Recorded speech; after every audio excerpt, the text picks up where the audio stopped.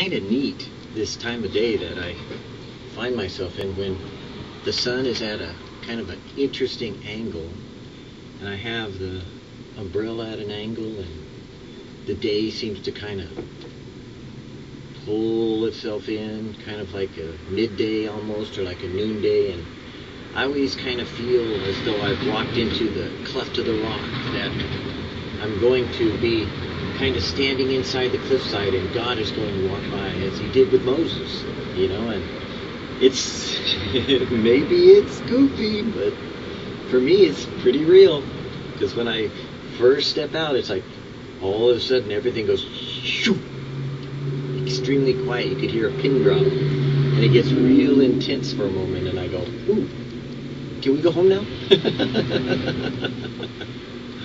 you know, maybe that's just me. Maybe it applies to you too. But I know in my day, there are times where I feel like heaven is right there. You know, it's just just closing your eyes and opening it again and being able to see what you could not see before. And when you do, you'll be amazed at what's waiting for you. In devotional, in my utmost for his highest, dependent on God's presence. They that wait upon the Lord shall walk and not faint. Isaiah 40:31.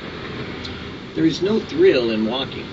It is the test of all the stable qualities. There is no thrill in walking. It is the test of all the stable qualities. To walk and not faint is the highest reach possible for strength. The word walk is used in the Bible to express the character. John, looking on Jesus as he walked, said, Behold the Lamb of God. There is never anything abstract in the Bible. It is always vivid and real. God does not say, be spiritual, but walk before me. When we are in an unhealthy state physically or emotionally, we always want thrills. We're thrill seekers. We want to be satisfied. In the physical domain, this will lead to counterfeiting the Holy Spirit. In the emotional life, it leads to inordinate affection and destruction of morality. And in the spiritual domain, if we insist on get, getting thrills and the willy jillies and the feel goods, then instead of mounting up with wiggle, instead of mounting up with wings as eagles, it will end in destruction of spirituality.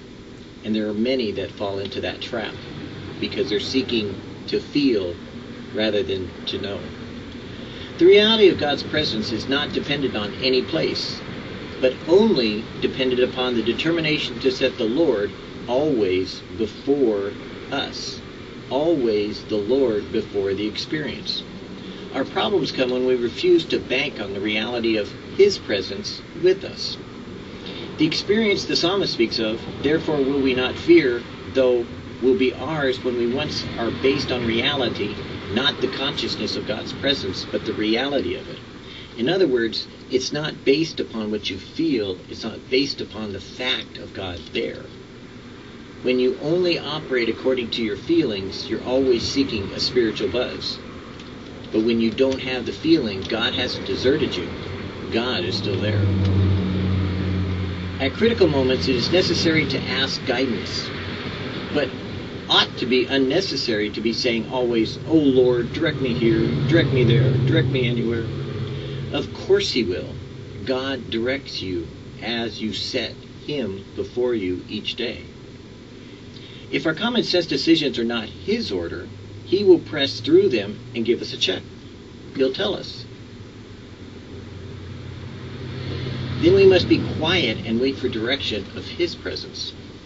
You know, there's so many people that I I am fascinated by, even as you know Chambers mentions that operate according to just feeling, as though God was just a sugar rush, God is just a caffeine rush, God is just a power drink, God is just a quick fix by shooting up a needle, God is just a quick fix by getting a high. No, that's not God. That's your flesh. The reality of God living in you which is the word we use, Emmanuel, God with us, is that God is a living, expressive being. He is able to communicate to you. And the way he's done that is he gave us Jesus, his son, so that we could see, feel, touch, and know that there is the Son of Man whom God has expressed himself in to reveal to us that we can speak to God and God can hear us. Jesus said, My sheep hear my voice and they know me, and they will not follow the voice of another. He said, I speak to my Father, and my Father speaks to me. I see my Father doing these things, and I do only those things that please Him. Jesus, as our Savior, gave us the obvious reality of knowing that we can experience God in a real, practical, personal, intimate way. If you're settling for anything less, then maybe you're standing in the way of God rather than with God. So, for me, I'd, I'd say get with it. God meant what he said and said what he meant. Read the Bible. It's pretty simple. He said, if any man opened the door, literally, I would come in and sup with him and he with me. And that was Jesus speaking to, it's kind of embarrassing, but he was talking to the church at the time. And unfortunately, there are many people that are religious and they may be righteous and they may look holy and they may feel right, act right, think right, and prophesy and do all kinds of wonderful things in his name. But how many hear him speak? Jesus wants you to hear him. He wants you to know him. He doesn't want you to experience him through all the people gathered together because that's a good experience. You should go to church, you should study, but he wants you to know him when you're alone, one on one, personal, when you're in need, when you're hurting, when you're desperate, and when you're joyful. So be still. Get away from everything. Try to have some kind of quiet time. And then ask God if He's real.